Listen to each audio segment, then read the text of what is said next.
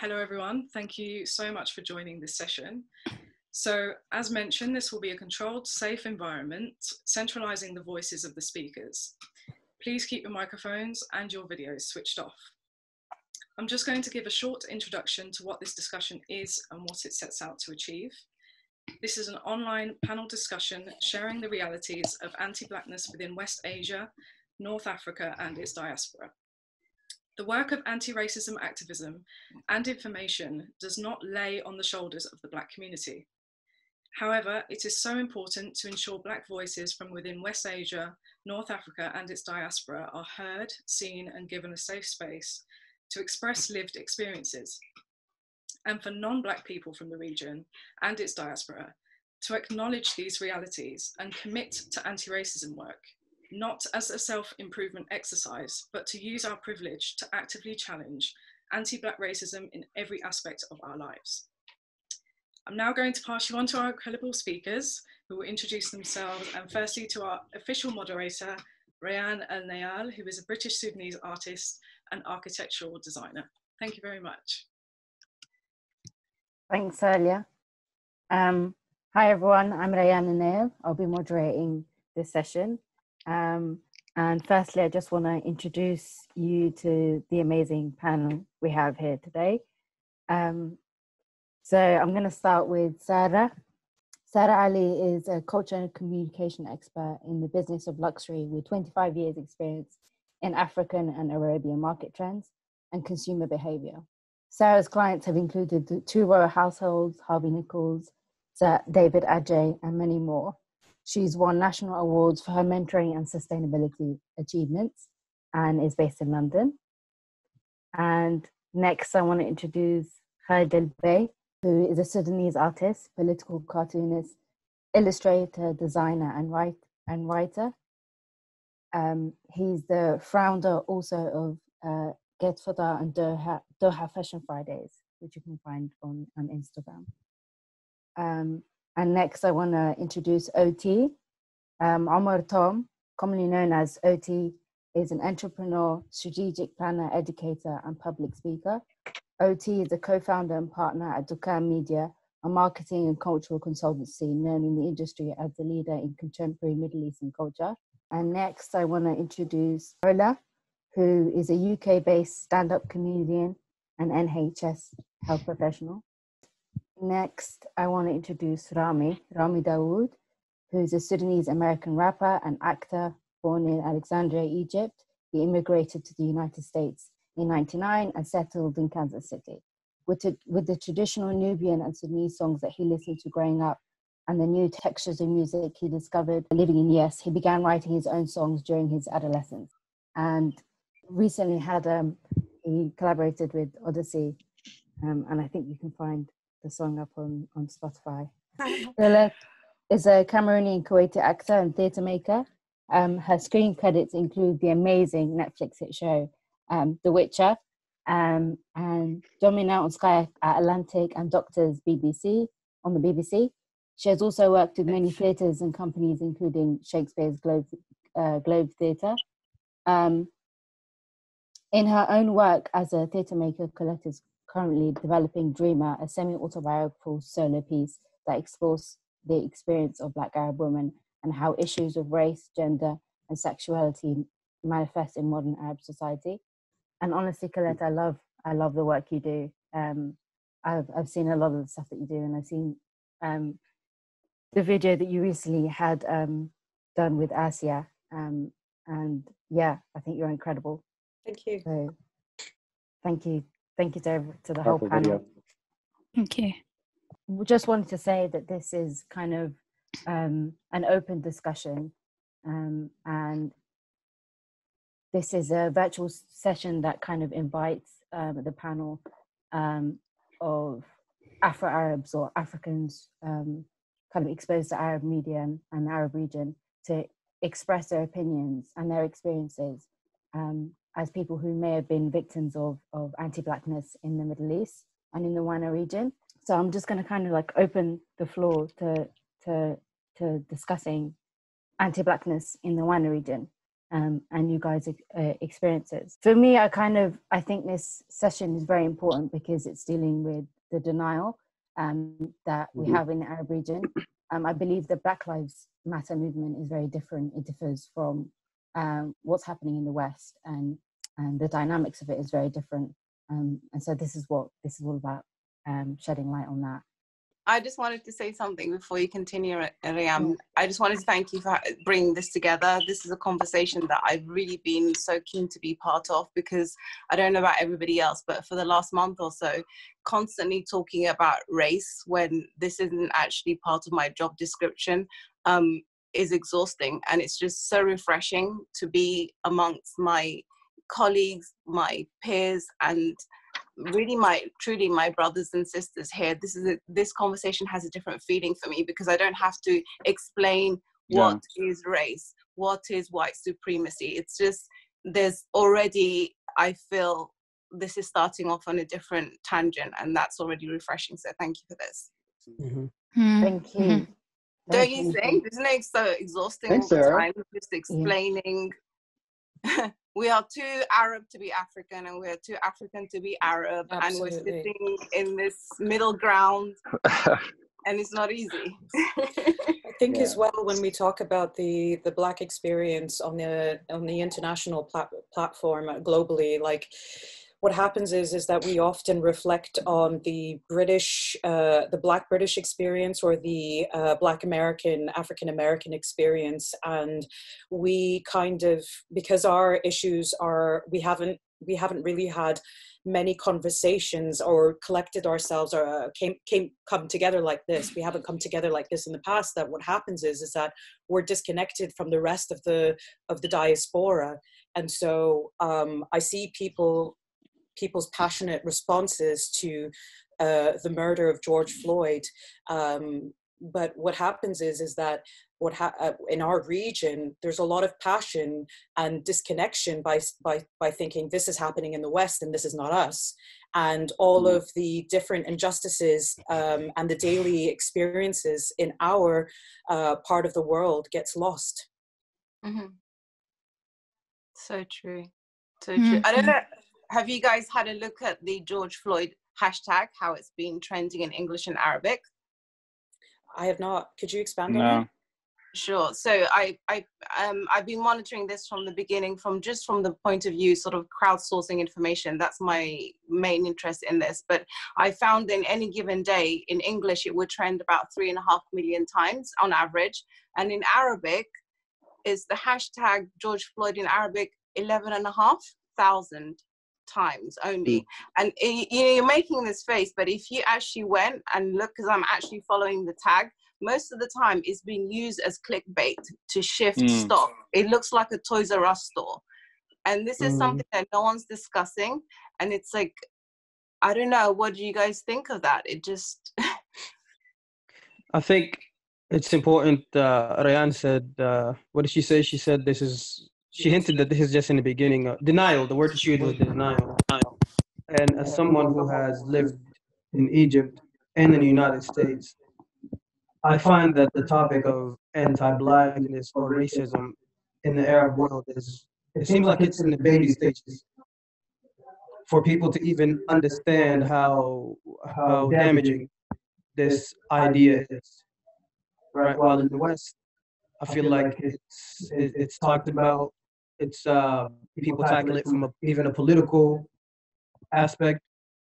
In the Arab world, it's so ingrained in, in the media and we see it in movies and such that it feels like it's just now we're beginning to talk about it on a on a more like on a broad scale. Yeah, but we're still being shamed about talking about it, you know? It's mm-hmm. uh, you know, the what I find is that people are very quick to um, accuse uh, anyone who talks out about it uh, of speaking out against their their countries.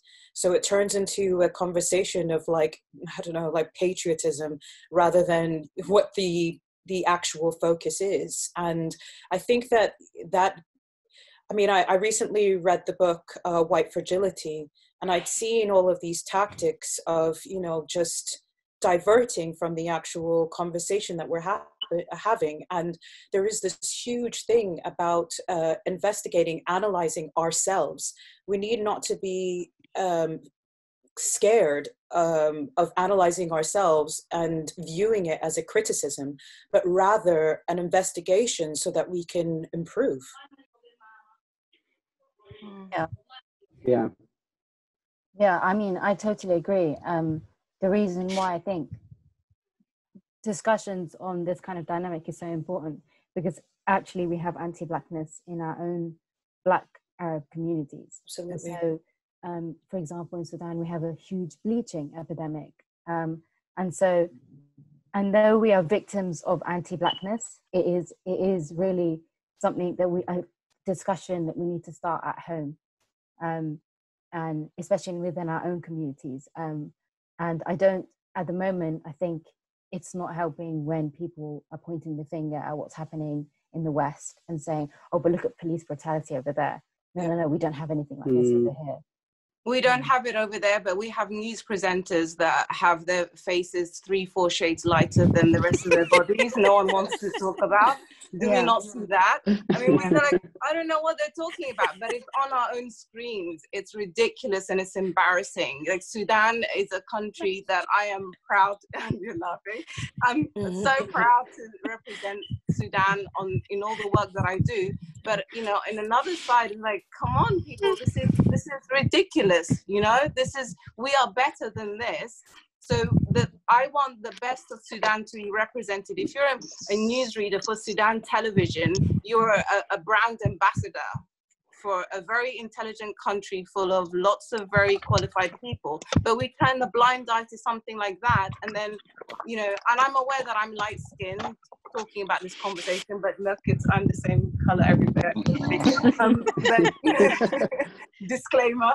Um, but you know, I, I work with luxury brands, and you know, just going back to Blackout Tuesday, I work with a particular brand that you know they declared themselves. Um, you know, Black Lives Matter. You know, the same brand selling um, suntan lotion to a Western market is selling bleach Mm. to their Asian and their Middle East market.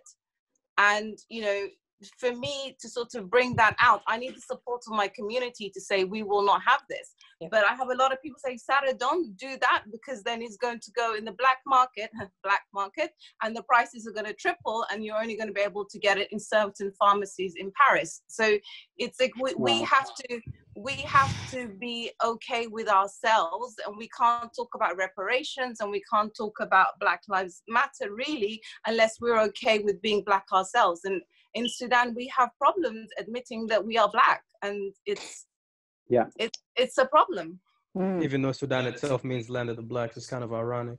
yeah, crazy. They didn't. They didn't. Historically, they didn't want that name. There's a lot of. Uh, But if you look of- at the history yeah. of that, even before it was called Sudan in Arabic, literally all the names of what today we call Sudan in all the different languages that have passed through the region has always meant land of the blacks. yeah, yeah. But it, it's a. It's it's um, Sudan in itself. Like in, in North Africa, for example, if you say I'm from Sudan, yani, I, I went to Morocco once and I was talking to this guy and he said, you know, where are you from? I was like, I'm from Sudan. He's like, which Sudan? So anything from our Wow. Sudan to Mauritania, that's Sudan. Yeah, Anything like the region. yeah that's that's sudan all of it and even even even until until the the, the independence of sudan chad was called french sudan right mm. right? Chad was called French right. Sudan, uh, Mauritania, Senegal. That's that's West Sudan. So yeah. it's this is this this whole region is called Sudan. You know, yeah. so it's it's a liya the Sud, all of all of this stuff. But it's um, it's um, uh, yeah. I mean, we I, we, we definitely have an, an issue with ourselves and our blackness and and what it means. And and it's really funny because you know, for I, I think for me personally, like when when I left Sudan, I was what 13, 13, yeah 13 years old or 14 years old and in sudan of course you know we're the privileged ones you know we're like we're like the A- we're the arab whatever you know like middle class and all of that and and um and i see it i see the the the, the and i grew up with that i grew up with the casual racism عادي يعني عادي that's like that's how it is you know Every day. so yeah Mhm. that's how it is that's that's just how it is you know these you know we're not supposed to mix and this is this and this is that and everything you know so when i when i went when i when i went to uh when i went to doha and i when when we arrived there and then i was suddenly the oppressed you know from being the oppressor basically i was suddenly oppressed it it really opened a lot of doors for me because now you now you see how it's like right so Mm. it's it's uh it's, it's like okay so now i now i understand what it means and why this is wrong and why why we shouldn't talk like that but for a lot of people that didn't uh experience that that didn't experience being on on the oppressed side they wouldn't understand it you know like whether it's white people in i don't know kansas or whether it's like you know uh, uh, in Shimalia or whatever because they think of themselves like you know we did we you know we do what right. we we do what we do and we uh, that's that's how that's how things are and we're doing our best like what else do they want from us you know? It's that I think it's yeah, yeah sorry, sorry. go ahead and also like you know with, with, the with the whole police brutality i hated that conversation because like oh no no but this is this is police brutality. Look what ha- what's happening in america. You guys are, you're just you guys are just trying to copy right what's going on. This is a thing. And yeah it is a thing but it's time to talk about it. But it's also talking about police brutality. Even in sudan what's our biggest issue? Was police brutality? Butal ashbah al-Darib, Darfur. That was that was mm. ten years ago. Brutality. Brutality, yeah. Exactly. So like, what are you talking about? Of course, this is, we have police that are against you know uh, uh, uh, you know African African tribes or or, or darker skin. That it's it's exactly the same thing, you know. Mm. So it's it's just about about just changing white, you know, the, the the whole white mentality into us that we are doing the same thing you know Yeah. and that's what a lot of people don't don't don't want to understand you know and I, I Yeah. have I have really good friends really educated friends until today بيتكلموا بيتكلموا كده يعني عادي لما when they when when they're talking بي- يعني they say it. they say they say the word عادي يعني. Mm. and Mm. I'm like why are why are you saying that you know and they're like اه اسمي انت بترضى هسي آه، ت- تعرس من القبيله الفلانيه ولا من القبيله الفلانيه ولا يعني they still Oh, yeah. they until today and these are educated people Mm. educated Mm. people that I called friends you know now they don't know how to talk to me like that but like it's it's it's uh, that's that's how it is unfortunately you know I think Khalid, it's I have- important And we had- Yeah. we had presidents that that think the same way we had the longest war in Africa because of the same thing Yeah. Yeah. Mhm. Um, I I'll say think this. It's interesting how you said it's so adi, right? It's so normalized when you are the oppressor to use this language, right? yeah I think another thing we have to look at is how damaging it is that when you're not born into the class of the, you know, the the, the oppressive class or whatever, right? And you are born into the oppressed class, how normalized it is to think that it's okay to be called these things. So, for example, like I wasn't raised in Sudan. I was born in Egypt and I lived there until we went to the United States.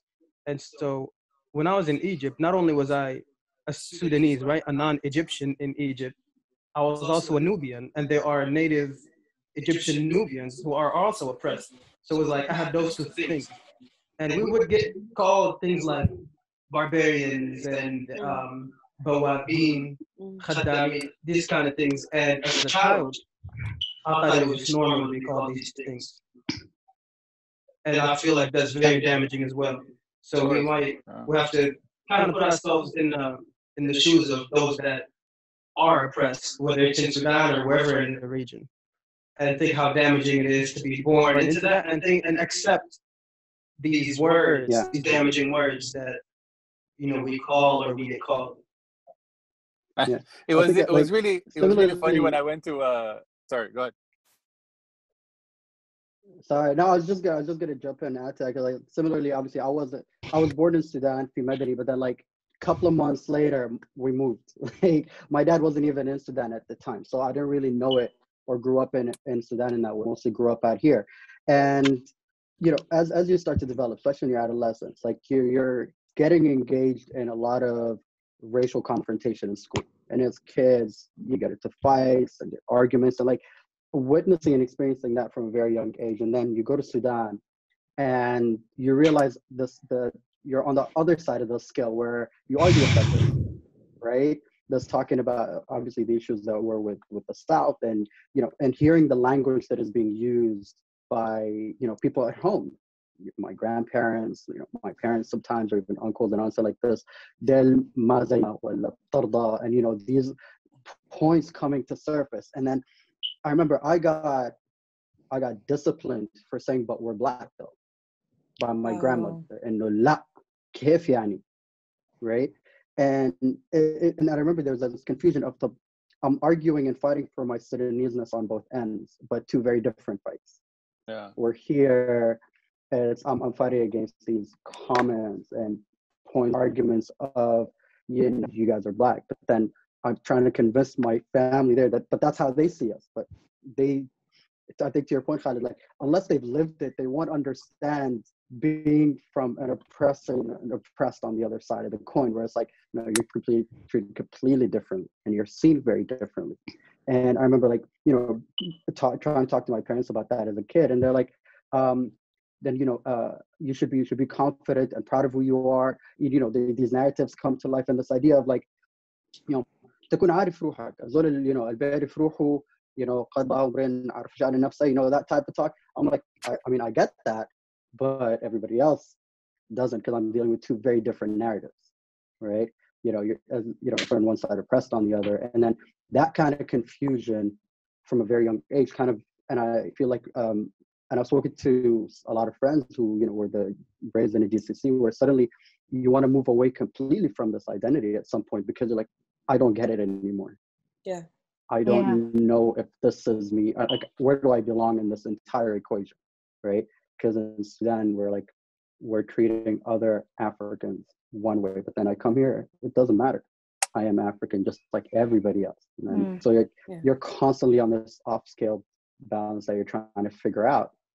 And I think that confusion resulted in you know at, at a young age there's a sense of loathing and as you get older you want to be more patriotic and you want to fight for it because that's what i saw and and i've shared this story frequently where like i think a lot of us assimilated and and ramey i feel like maybe you might have a you know point of view on this as well but it's like why i gravitated towards hip hop culture because i saw people around me would watch yeah. music videos or tv shows and like yeah. they glorify those persons they saw on TV, but then la Sudani, I don't know yeah, what, right? Yeah. So like two very different narratives about the same thing. I'm like, and that added to the confusion. So like, okay, you know, kind of gra- start gravitating towards that mm. because I want to, I want him to talk about me like that. I want to feel like that, right? Yeah. And yeah. um, and that was another tr- point of translation. So it's always this um sense of like trying to identify and figure it out. But like, I also feel like I believe that I feel in a way grateful that we're the first ones to openly talk about this. Um, accept, I feel like our parents and grandparents accepted the normalization of these things, yeah. and we're like, okay, no, no, no, something needs to change somewhere, and we're finally having these conversations quite openly about that. Yeah, yeah. I just want to um, come into your point ot and also uh, connected to police brutality. The thing mm-hmm. is um, br- police brutality is in a response to trying to control that pr- that pride that people have within themselves that say our lives matter you know and i mm-hmm. feel like the reason okay so we always talk about police brutality not happening in our region of the world. And the thing is is that we so successfully our psyche is not at the place not in the same place that the west is as a collective as a people. So in in, in so many ways is that we are still in the stages where where we are policing ourselves. So there isn't that kind of resistance that um that needs uh, that that creates a fight against you know? All someone has to say is you know one of these derogatory racial slurs and that you know just completely silences us you know? And we are not backed by one another in moments like this. So many so many times have have i experienced uh, uh, like just in just encounters with people that are absolutely horrible and thinking that my you know uh, my people my brothers and sisters alongside me who are present for these moments will stand up for me as well. But it affects us in our psyche in different degrees. And that means when these yeah. things happen that we're not able to unite and fight back as a as a like a strong front you know? We can't we don't we are still in the in the process of of you know coming together and standing up for one another you know? So th- there is that. And another thing about um, you know wanting to be like looking to you know rap culture and hip hop and all of that it's the same in in the gcc especially in kuwait. You know after the gulf war there was a lot of uh, black americans that were in kuwait. A lot of the american culture that got adopted to kuwait. So suddenly everybody was wearing baggy pants fubu you know like flat caps and all that stuff. And people are like that's awesome. My sister was saying to me the other day that the 90s was the best time to live because everybody wanted to be black you know? Yeah. And I was saying to her, I was just like, and for us, we gravitated towards that because subconsciously there was a pride. So if they mistake me as Black American, they celebrate me. But if they see me You saw as your a- likeness. yes, and if they see me from within them, then I'm a direct threat. Yeah. Mm. Further to what you're Mhm. saying there, Colette, I mean, I grew up um, heavily influenced by hip hop, but then also watching The Cosby Show. And so being Sudanese, is there's, there's a part of me that felt like I was that Cosby girl, but then I wanted to follow Aaliyah, Missy Elliott, and Run DMC. And so, Mm. you know, even at a very young age, you know, my parents coming into the room, if I'm watching The Cosby Show, they'll poke their head in and out and it's fine. If I'm watching, you know, MTV, your rap, uh, your MTV rap star, you know, Mm. Fab Five Freddy. It's like, what are you doing? It's like I'm le- I'm learning to to um I don't know to rebel. You know, I'm learning to speak up. I'm Mm. learning some swag. You know, I'm like, well, yeah, I am. But then also at the same time, um, I have other challenges in my work at the moment where I'm often the only person of color in a boardroom.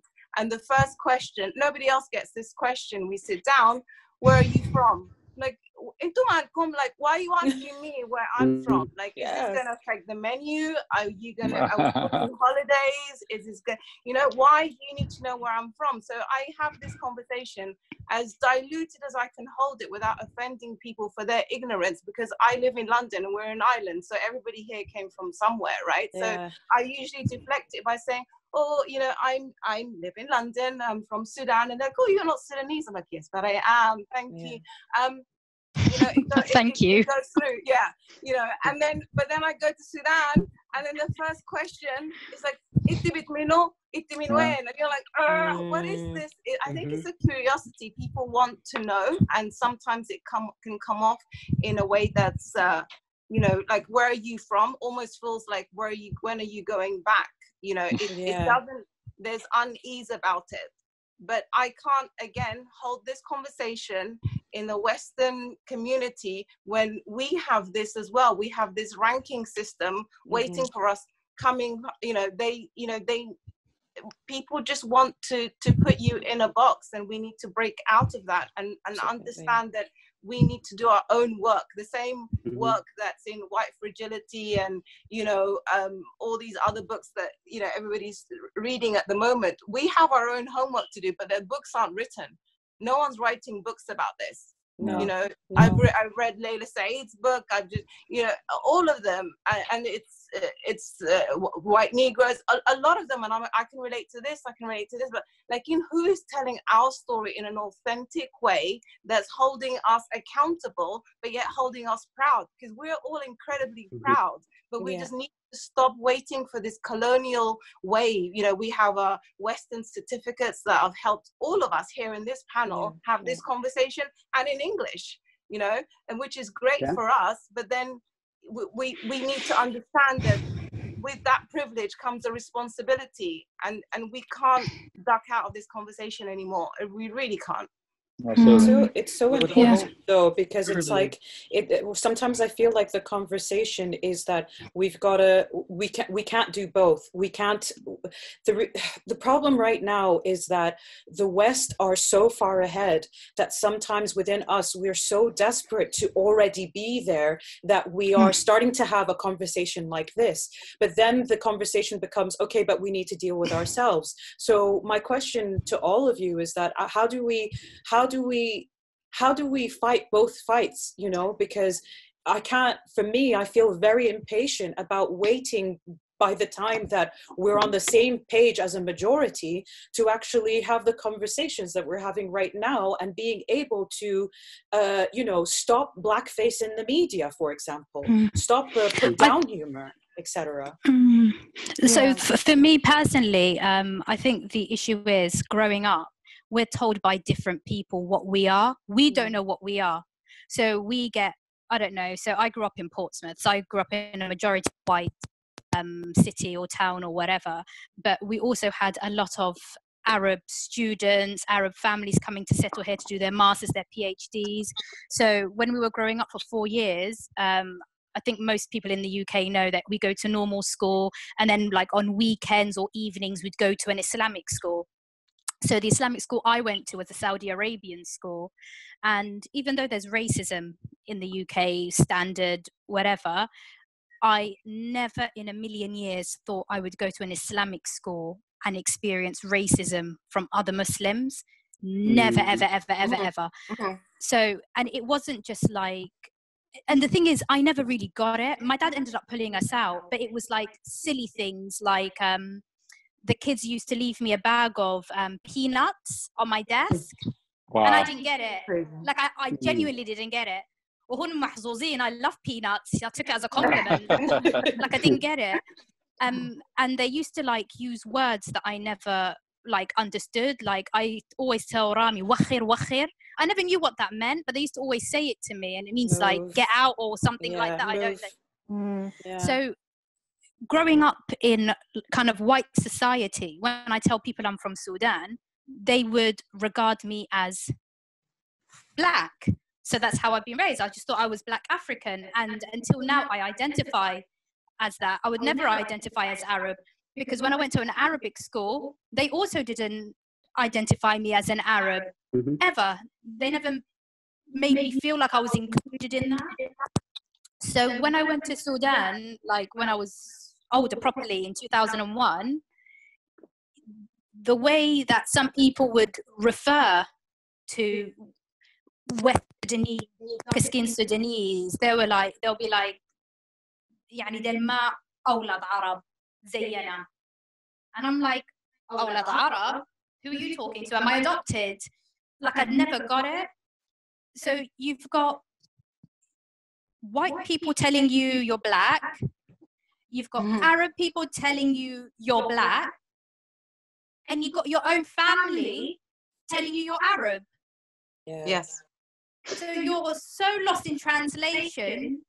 It yeah. seems like we're the only people that are telling ourselves they're Arab, but the rest of the world is telling you you're a black African. Yeah. Mm. Yeah. I think yeah. there's a big disconnect.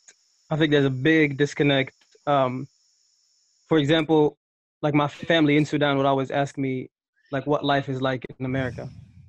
And when I tell them about police brutality against black people, and then when I tell them that I face, you know, some of these dangers, like I get pulled over for no reason. Uh, when I go shopping, I get followed around by security.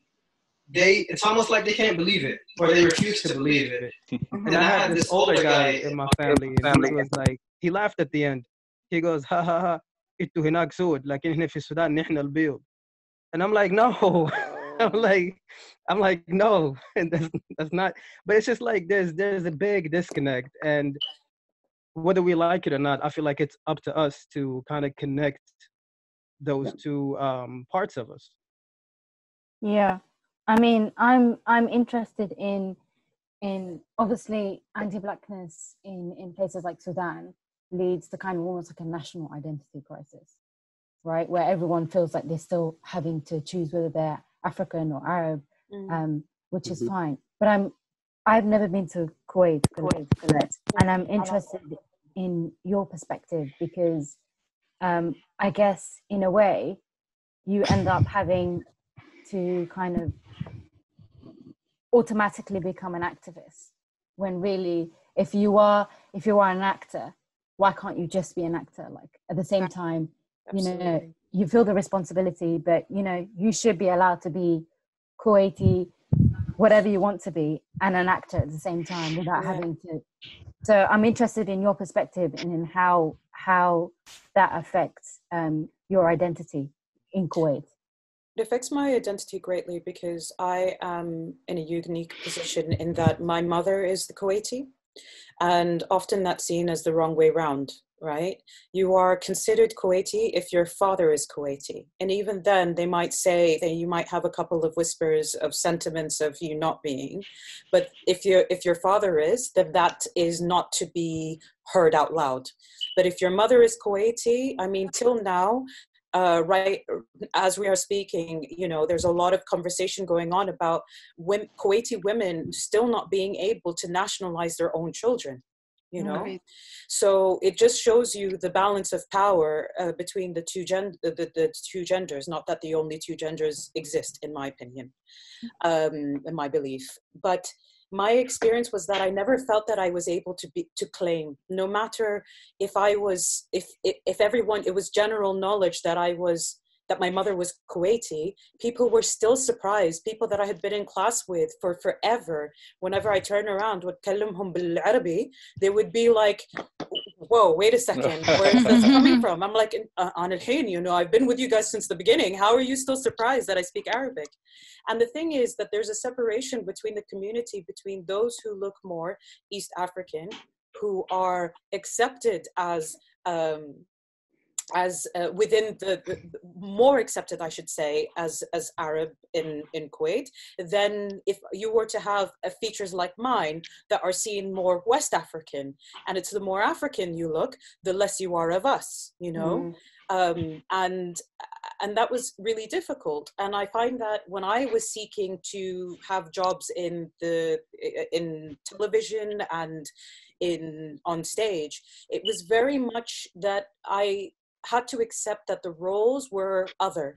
So I had to be the khaddama, or I had to be oh you know, anybody that's other. So even though I'm born and raised, and at that time had not been to Cameroon at all, I don't speak French, and my family that I know are all Kuwaiti, all Arabic speaking, all uh, uh like conservative looking. I I can't I can't even claim it. I, I can't claim it. I am shamed and I, I am I'm bashed for thinking that I am a representation of uh, Arabia or Black Arabia. Crazy. Mm. So I have That's to actually be an insane. because I have to, you know, and it sucks that I have to be, but I think about, you know, I, I have to keep fighting for myself and other people who look like me because it, it for a long time, even after I left, I only called myself Cameroonian. And it hurts because when I go to, you know, uh, the, the African community here and other Cameroonians, yeah, mama, uh, I'm not uh, you know, I don't have mm. the same culture. I don't have the same uh, language. You know like i don't have the same accent and although i can appreciate that half of me is part of them i do come to the culture as a visitor you know mm. so mm. unfortunately and, and when i look when i source for my work you know as an artist you'll all know being in creative fields that you want to make work that resonates with the deepest parts of you and if you can't claim the deepest parts of you, you end up with the most shallow, like art that you can find. It just That's doesn't, right. you, you can't keep creating from that space. So now when I made Dreamer, I had to, I had to claim that part of me and show our stories and all of the conversations now that we're all having, you know, because I cannot continue to let them shame me out of uh, and robbing me really out of my history and my birthright. You know? That's yeah. crazy. Yeah, that's actually insane. Mm. Growing it's up, just... you know, growing up in the in the in the GCC, it's it's amazing to me. Even like at, at this time now, يعني في في اليوم الوطني في في في, في الدوحة القبائل كلها بتعمل العرضة يعني like the the usual you know the dance the sword dance and stuff right yeah, yeah and and there's a and there's a there's a black tribe. And we all know there's not a black tribe. Who are you lying to you know? And they had to like dress up and do the arda and shit. And everybody's like well why are you doing this? You know? Yeah. and and it's it, it's really shameful that they have to put on this parade right? Just to feel like they feel like they belong you know? And in and and and even now they're not talking about it. Like the whole world is talking about this whole issue. Nobody's talking about it. In qatar there's a slavery museum and it talks about and that's like one of the first things that you know it's it's it's I, yeah I'm, I'm i'm very proud of that work. And uh it went on like it has a lot of it has a lot of uh, uh you know um testimonials and stuff and everything but it it our people are very sensitive about even mentioning talking about that. You know no no, no we're all the same we're all the same nothing's happening. Yeah, don't, that's the don't, don't, don't don't talk about that so it's really it's I, I think it's really the it's, it's the time yani, for the GCC to really talk about this. You know, I mean, in, in Kuwait, it's uh it's it's a lot more open actually, you know, than than anywhere else in Than uh, than yeah in, in in the GCC. So it's um yeah and But that, sorry. yeah sorry, no it's just sorry, I was just I was just I was just trying to talk about the the um um uh, I forgot. Don't worry. Go ahead. I was just going to say that even when the Middle East recognizes race, they skip us and they go again for Black Westerners. Yeah. You know, it's like, you know, it's a great creative campaign to bring in, you know, Hollywood to Dubai or Saudi Arabia wants to elevate itself now to be global and, you know, uh, they have their own campaign for tourist reasons, but I don't want to get into that. But why do they skip over black arabs and go straight for you know black westerners you know um i have conversations again with the vogue arabia and you know they put black models on their covers but then they're not telling the narrative you know my my um my interest is in that model when she leaves you know dxb how does she feel hailing a taxi? How is she checking into her hotel? Can she get her foundation? And this is again talking from the model's experience. How is she ordering her food? How is room service coming to her? Had she not been a guest of vogue arabia's and again you know when you put the likes of Lupita um, Nyong'o on the on the cover of another Arabic magazine. Are we aspiring to this conversation? Because the women buying these magazines, as they're flicking through them, they're having completely different conversations. And why is that? It's because we keep putting expats in senior positions in the Middle East to speak for the creative industry when we we know what we need. You know, Mm. we, we're, we're black and we're Arab. We're, we can be either whistleblowers for both sides or an asset for both sides. And we are, you know, dual culture, dual language, dual everything. You know, we, we're the Swiss Army knife of what you need to get done in that, you know, North Africa and the Middle East. You know, especially with the Sudanese community, I see so many doctors, architects, designers, Matrus, model Yeah. absolutely phenomenal in terms of the proportion of Sudanese there are to the creative output coming out of this country. Mm. But yet, no, when you want to hire, go and hire from Hollywood, go and hire from London. And that's completely frustrating to me because, you know, why would you do that when I can speak Arabic already and I can tell you, I can help you train you for the job that you already have if you will listen to me and I will help you earn more money if you can see where your Western lens is making you feel like because you're an expat, not immigrant. And that's something else that absolutely makes my blood boil is that, you know, Mm. when we leave our countries and we go elsewhere, we're immigrants. But when Westerners come, you know, to our regions, you know, they're expats, they're guests, ضيوف. نحن Yeah. بنعاملهم Mm, mm, كأنهم mm, ضيوف mm, mm. Spot on. and we treat them as their ضيوف. But when it Mm. comes the other way round, لا نحن we're constantly proving that we got to our seat on our merit with our certificate and our Yeah. culture and and بطريقتنا adabna. We bit our tongues when we needed to speak and we spoke up for our brothers and sisters. Homa, they don't have to deal with all of this. So why is it the creative industry has so many um, non-Arabs, full stop, non-black Ogdat al Ogdat al Khawaja lakin Asara. That's that's Khawaja, yeah. Yeah, it's a it's a it's a known thing. Like every, everybody, not only the GCC, anywhere you go. Yeah. Yani, it's sometimes at, at work, yeah. whether it's in, in in Doha, whether it was you know in, Dubai back in the day or whatever. When I'm when, you know when I'm talking or I'm I'm having conversation with someone, yani, especially yeah, from like the local community, whatever. It don't have to be yeah, Khaliji. And they say, oh, so uh, which, which state are you from? Yeah. I'm like, actually, I'm from Sudan. Oh, Crazy. oh, and you can see the disappointment in their face. Like, And- man, I wasted all this time. and the narrative changes. yeah, you're like, changes after that. you talking like you're Yeah. intelligent to me, right? Like you're a white person. You're from Yeah. Sudan. Yeah. You know, it's like Yeah, you can you can tell. Well, al- Yeah. and I got so many I got so many jobs just lying my head off. Like I was just like, yeah, you know, I basically went to America. I like I first time I've been to America was I don't know, like six or seven years ago, right? Yeah. But I I've learned that I have to look a certain way and talk a certain way for for people Yeah. for people to I get a reaction from people. Like I cannot be someone that works works in the creative field someone that's that's uh, uh, successful without me being from the west like it just it doesn't Right. They can't comprehend it like how how are you doing this They can't You know, humanize this- you. They can't. La, la, Look la, at the irony. though. When- sound. When you It's- go and work in America and come back, then the Khalij are going to respect the fact that you went all the way there and they loved your work and you came back and you got to tell Eh. your why story. why do you why do Yeah, you think i'm in that's denmark right now we were dating- when you were when you grew up with them this entire time, you know. Sorry, that- didn't say that again. uh, whoever. You know how she was saying how they would appreciate him more because he went to America and then came back.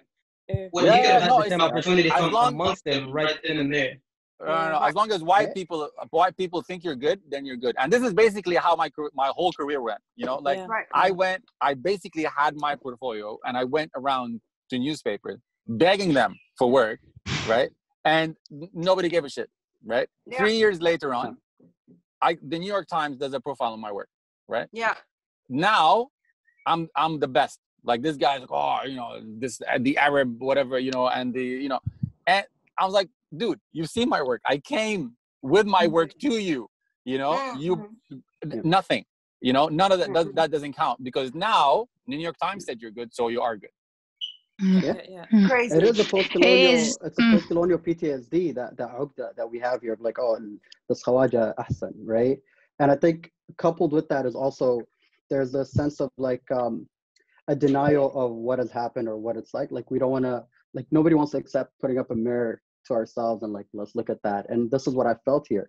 I mean, it's very. I think your story, Khalid. Anybody that was in the GCC at any point has experienced it Yeah. in some way or the other, right? Because like for me, especially in the advertising industry, where when I stepped into it here, Sudanese were a minority. I mean, just black people in general were a minority, and then Sudanese are this even smaller minority in the industry.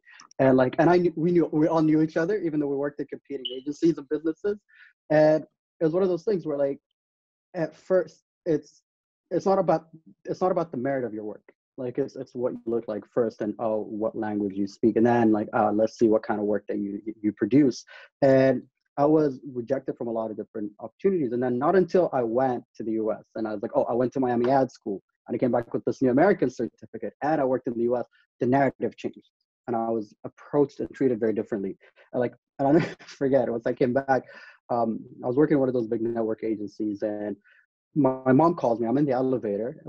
كلمتها, I was like, عيني أنا في اللغة نصير اديني شوية واضرب لك.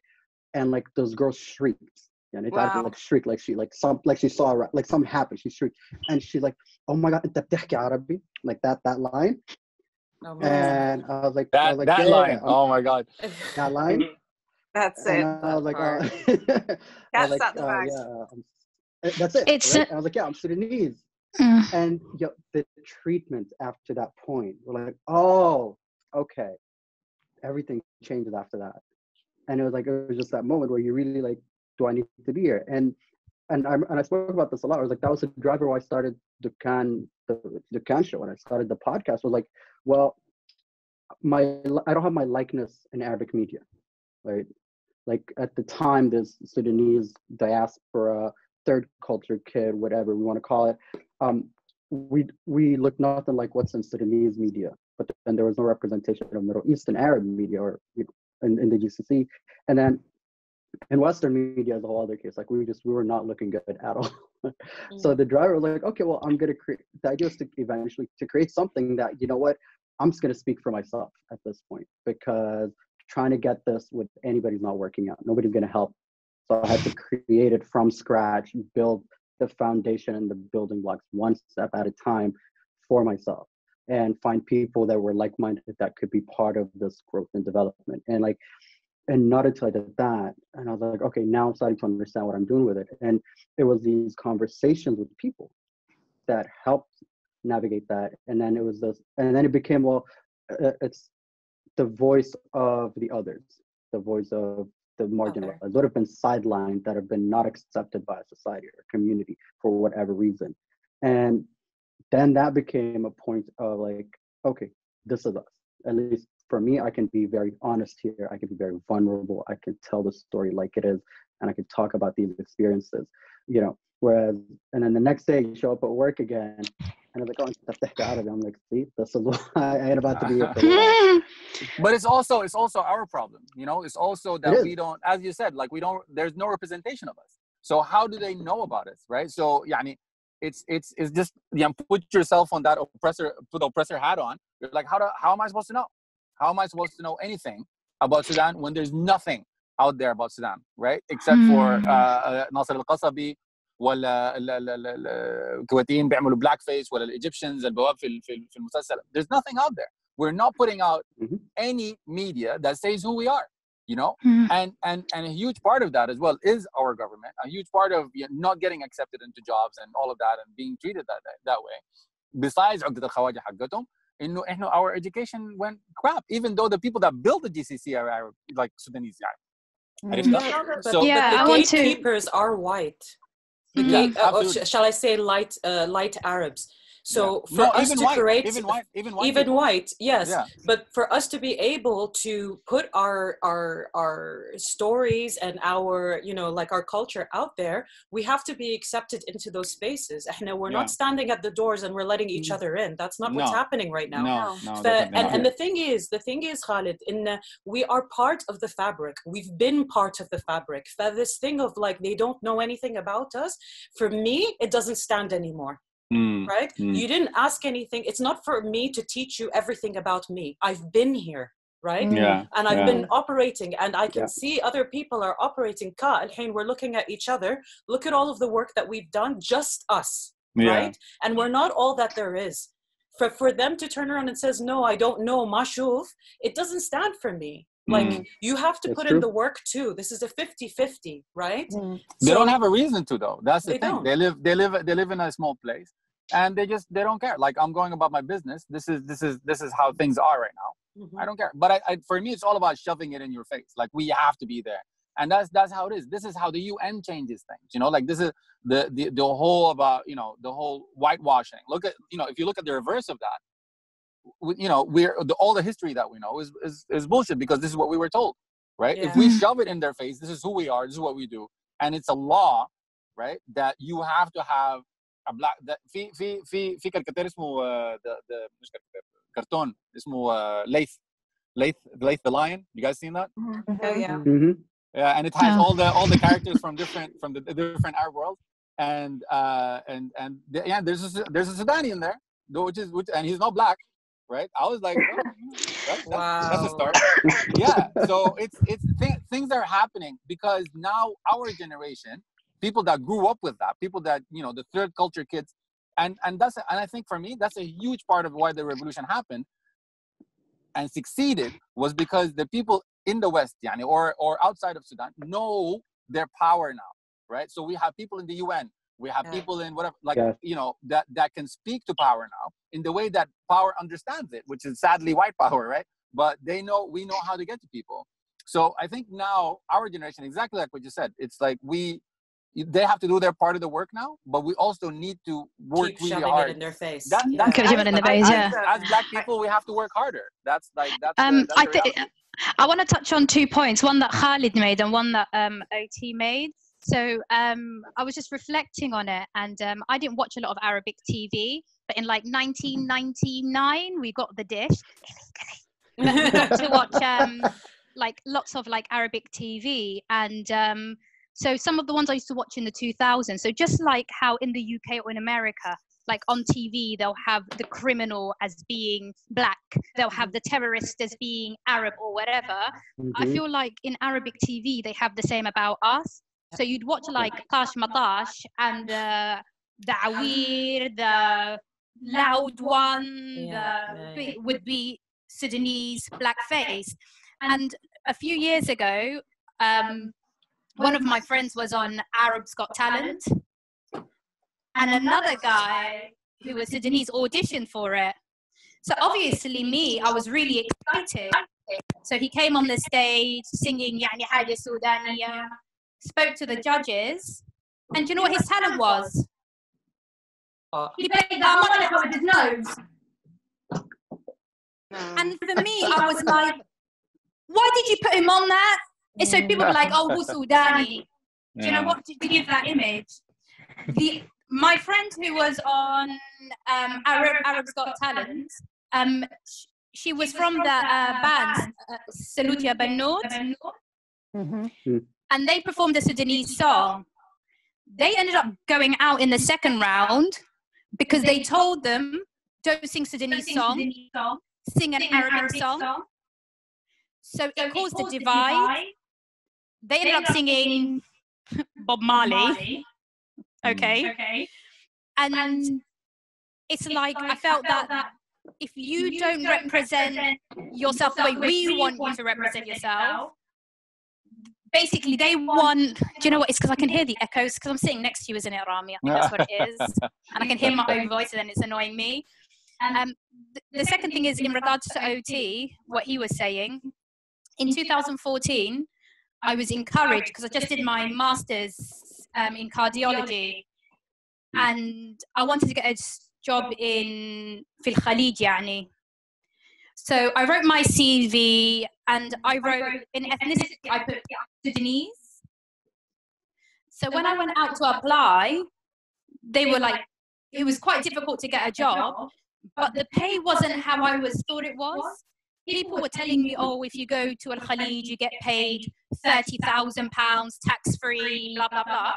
They were offering me like 12, 13,000. yeah, you can't even live on the salary that they offer Yeah. uh, black people Mhm. in the GCC. Yep. Ma ana, I classified myself as Sudanese. That's what I thought If they you had meant. if you had put down British, would it be different? My one of my dad's Yeah. Friends, who Khalid, he's from Dubai, and he's a consultant radiologist. So he went through my CV because I wanted to apply for military hospitals. لما شاف أنا كتبت السودانية, he was like, "يا بنتي, what are you doing? You're British." So I Yeah. changed my um, ethnicity to British, and the job wages doubled, tripled. Yeah. Yeah. And wallah al-azim, purely based on this, I was like, I can't work here Yeah. because I'm not going to have my British passport stuck to my forehead. When I'm walking through the streets, people are going to know I'm Sudanese. My patients will know I'm Sudanese. I don't look white. hmm What again? What upsets me, and it shouldn't be about religion, but I thought as a Muslim, I would be respected and protected more.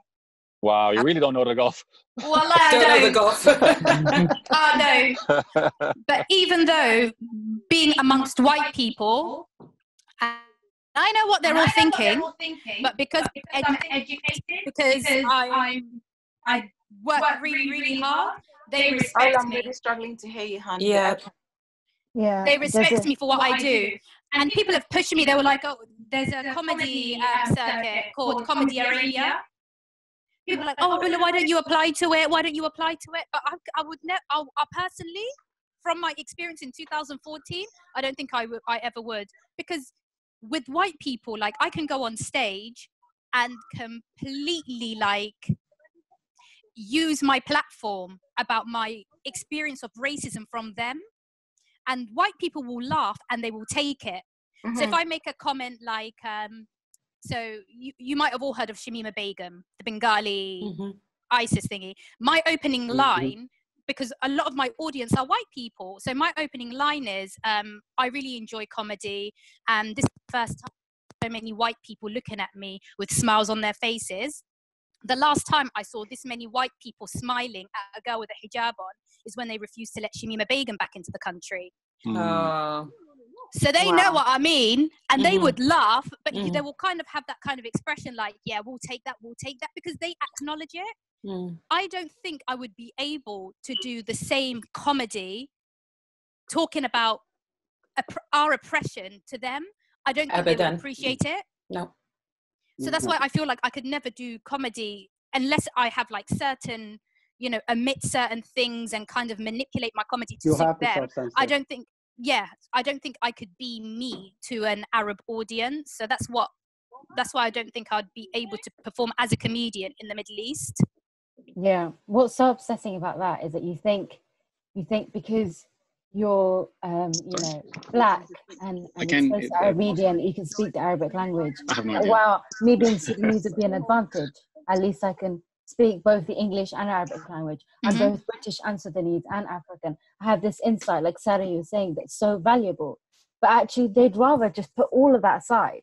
The fact Yeah. that you talk to them in Arabic, the fact that you have insight and can understand their language, Yeah. and still just, you know, um, pro- And just sometimes it's really microaggression. Sorry, I, I interrupted you, Ram. no, no, it's all right. Yeah, go. it- it's the microaggression that uh, uh, upsets me Oh, yeah. and i think that one thing that we can do collectively as one is um you know you know we're talking about anti-blackness here and that's fine in that we all stand united and we have the same opinion but there's a problem when we start um, dissecting this conversation about what we each do to each other and then there's colorism and then there's sexism um, i want to see the black Arab man start to view his woman, his daughter, his mother, his Mm. grandmother as beautiful.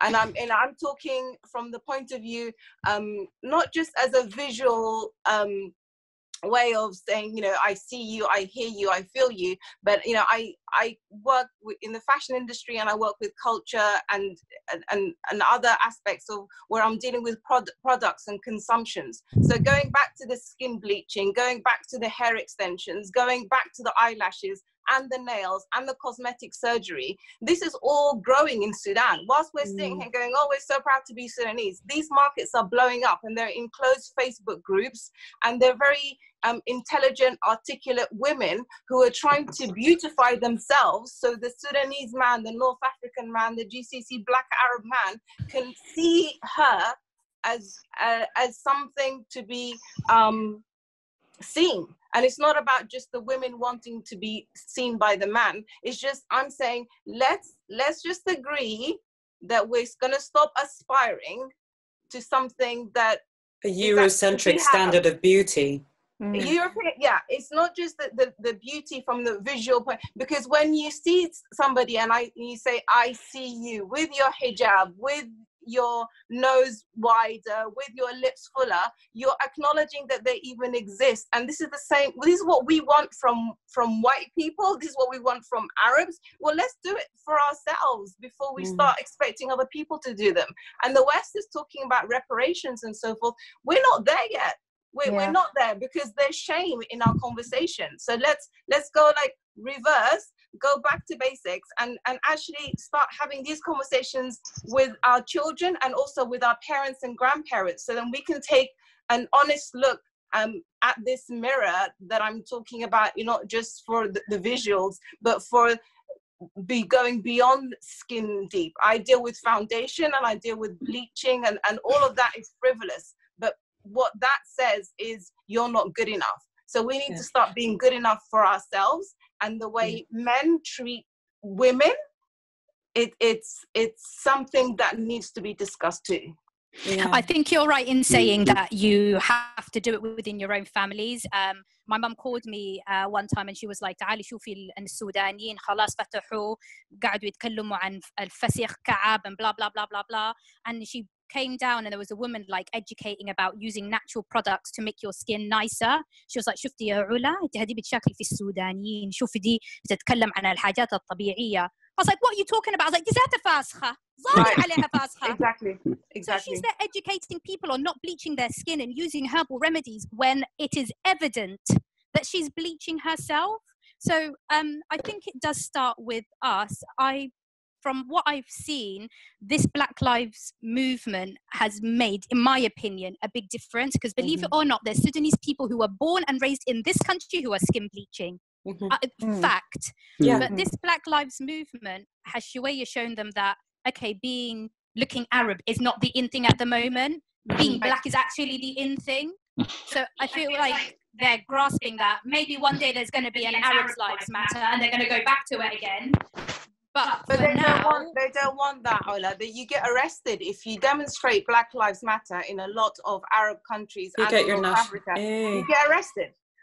And you get threatened that, especially in the GCC, that your nationality will get stripped from you.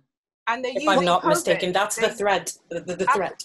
Colette is absolutely right, and they're using COVID as an, as an excuse to keep everybody, you know, social distancing. But what they want is to social distance away from the conversation about race. And what I was talking about men and women, it's not because I aspire to looking beautiful for a man. It's because it affects marriage, it affects relationship, it Yeah. affects, you know, oh look at their children, their hair is so loose. You know, Mm. gone from a type four hair to a type two, so you're evolving and moving forward. No, we need to stop these conversations in our homes. So then hmm. we can have better quality conversations that are to the level of our intellect. Because I, I, when I see fellow Afro Arabs, I am constantly learning. This is the, this this panel this afternoon. With all due respect to my previous conversations, they don't touch on this. I'm Mm. learning from you guys. When normally I'm like, well, white supremacy is this, and you know, and then, you know, you're just like, "Ugh, I. You, let's move on from this conversation. We're always centering white people on something that they can do for themselves. And now this conversation, I'm learning from like you too. You've heard this too, and I've never known that. This Mm. is this is really something. Mm. Mhm. And let's not pretend that, you know, like there's a lot of strategic.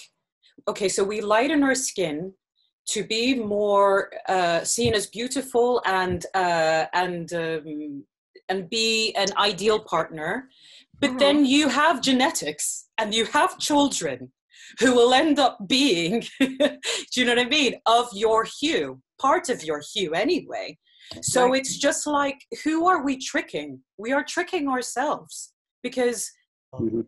whatever you do to your skin today Oh. does not mean that your genetics suddenly change and you're suddenly a light Arab or white. It doesn't work that way. And then your child has to deal with the same thing that you avoided by lightening your skin and, you know, living a different mentality, you know? And it's just exactly like I have to raise an issue about the Me Too movement as well because um, it's very we, as you've said, Sara, that all of this is interconnected, you know. Mm-hmm. And my fear about the Me Too movement coming to Arabia and us doing this performative dance of like, you know, yeah, us we're we're we're now we're coming out. And I have to say, Sudan and, and Egypt have been spearheading the women in Sudan and Egypt have been spearheading the conversation in the region. But Yeah. my thing is that the black Arab woman is the least valued person in Arabia. Yeah. And we Mhm. are always targeted to sexual abuse. We are seen as disposable parts, the disposable people. We're not even humanized in our community. So when boys are being allowed to do whatever they want, eh, ah, they let him go out and have fun. He has to experience, and they're having their experimentative sexual experiences. They cannot go to uh, you know, this girl that belongs to this family who is light Arab and all of that. Who do they go to? Us. Hmm. And then we can't go to the police because they don't see us as valued parts of the of the society to fight on our behalfs. If we are going yeah. to people who have the mentality in and zift, then how what the hell are we supposed to do? Yeah. Mm. Yeah, so the Me Too right. movement for me, when I see the helplines, I was like, these helplines are for white Arabs. They're for light-skinned Arabs. And Mm. it's us performing to the world. It does not apply to us. I'm sorry, but we have to target first the mentality of the people who are surrounding us, the people who are are taking care of legislations and everything, like in the judges, the courts, and whatever, and then within our own family. So we stopped being shamed in the first place about even using these helplines. There's so many barriers. So they many actually take your details if you phone and they you, you know this is the the i've had a lot of um work with a anti-slavery um, group about something like this.